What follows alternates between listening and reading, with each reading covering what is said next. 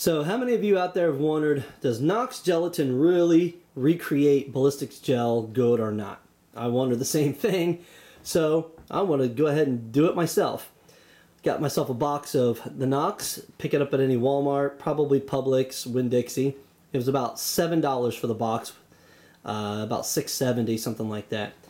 The instructions call for one cup of water per packet of gelatin that's in their recipes. I just decided to choose two packs of the gelatin for one cup of water. Combine those into some empty half gallon milk jugs. So for argument's sake, you got uh, approximately eight cups in here. And so that meant 16 packs of the gelatin. And there is 32 envelopes in that pack. So that made me two of these half gallon containers. The weapon used today, dun, da, da, da, the HK P30 9mm, the bullet that I carry, the Federal HST 124 uh, standard pressure. Uh, come on over here and see how it did. Uh, I don't know how good of a view you can get of the wound channel, but it is pretty much like you see anywhere else. There's a lot of damage here. That's because this portion of the block was flipped completely off the stand.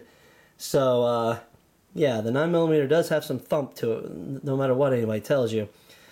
It's about a half inch to an inch in. And then you got the explosion of uh, the gel there.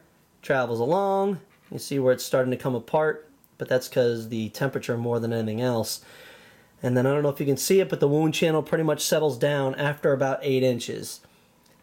So it goes along here, and there is Mr. Federal HST in all of his happy glory.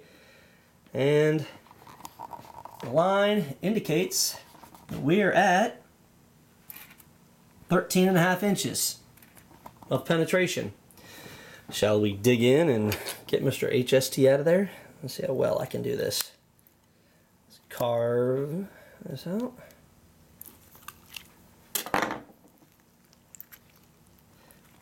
Now, interestingly enough, there's Mr. HST. Perfectly expanded, like any other test. How big is he? Oh, he's not too bad. Three quarters of an inch expansion. Like I say, interestingly enough, I fired a second shot with 22 uh, CCI Mini Mag hollow point, and it made it all the way through the block. Make of that what you will. Okay. Um, no, I didn't fire it through the 9mm channel. I chose its own path, and it made it all the way through and came out the other side. So, uh, I don't know what to make of that.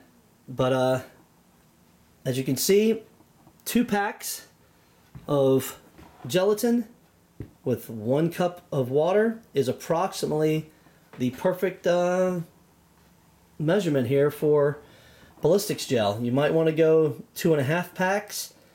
Uh, play with it, you know, to your leisure, right around that uh, that that combination.